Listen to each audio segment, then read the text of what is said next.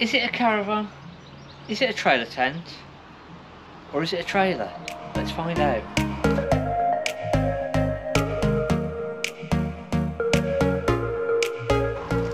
So we've got the Gobur Carousel Clubman. Is that what it's called? Mm-hmm. Yeah.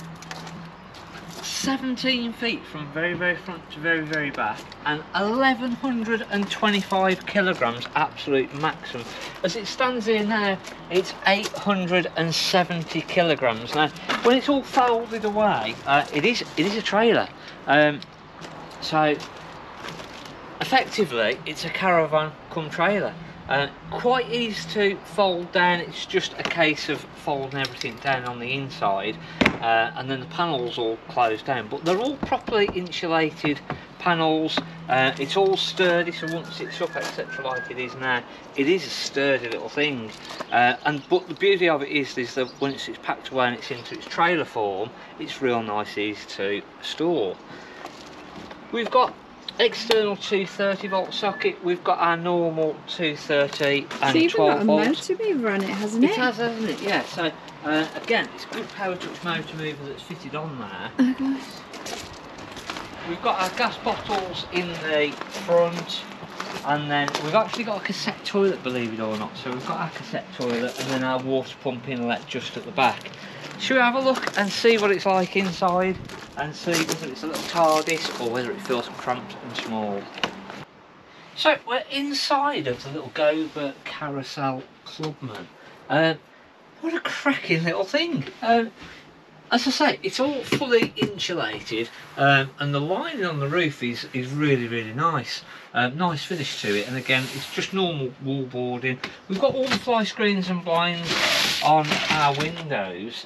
Uh, have we got the blinds, the fly screens? Yeah, we have. Uh, and so we've got the blinds, and that's that's for all of the windows all the way around. We've got our 12 volt lighting. We've got 230 electrics. We've got, I believe, all of our normal sort of trip switches, charger unit. So it, it, it for all intents and purposes, it, it's set up exactly the same as a as a caravan is. Um, storage underneath of all of our seats. It is just cold water. Um, let me just double double check.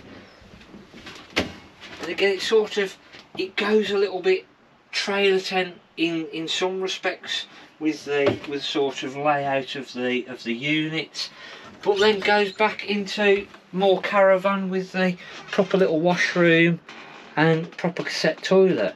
So it is it is it's sort of a hybrid of, of both really but you've Is got there a shower? Sorry to no it is just the cold say, water. just- um, so there's no shower um, which again I think site facilities now are, are good enough where you don't really need to have the, the shower inside the caravan. And again a lot of people don't actually use the showers inside the caravan. So what we have got though is a little extractor fan in the roof all of these cupboards um, when it comes to dismounting they literally just fold away. Um, we just literally pick them up and, and off we go. And it is, it is that easy when we're sort of setting it back up and putting it back down. Uh, it's it's a 10 minute job to sort of do it but it gives us a bit of flexibility where we've not got a big caravan stored all the time. It's just literally down to a trailer. Um, but we've then got proper siding uh, we've not just got canvas etc so it is more just of a two berth where this back seating area here will make up into a big double bed. Um, and again they're long enough where you can actually use those as just two single beds. So if you didn't want to make up the the double bed you don't have to. Um, but if you did want to make it up can't. There's little boards just underneath of here um, that just fill in. So we drop the boards into our rails um, and just makes up into the, the proper double bed.